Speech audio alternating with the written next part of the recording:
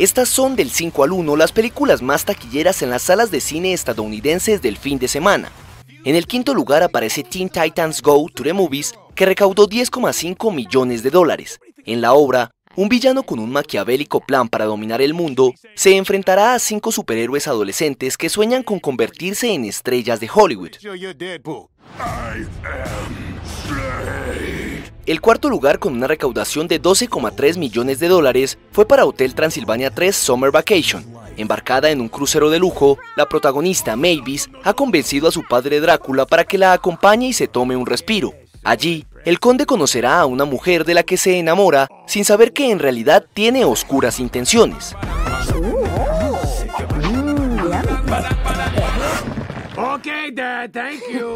La tercera casilla se la llevó The Equalizer 2 con 14 millones de dólares. En el filme, el personaje de Denzel Washington, un agente retirado especializado en operaciones clandestinas para el gobierno, debe emplear toda su destreza para hacer frente a un grupo de asesinos implacables con una relación muy estrecha con su pasado.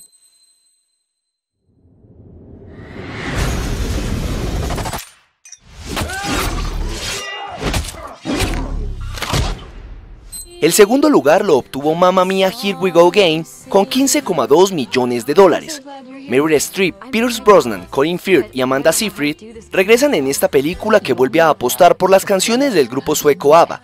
La cinta incluye a Cher, un pequeño papel y relata la juventud de Donna, el personaje de Streep en la obra original, ahora interpretado por la joven Lily James.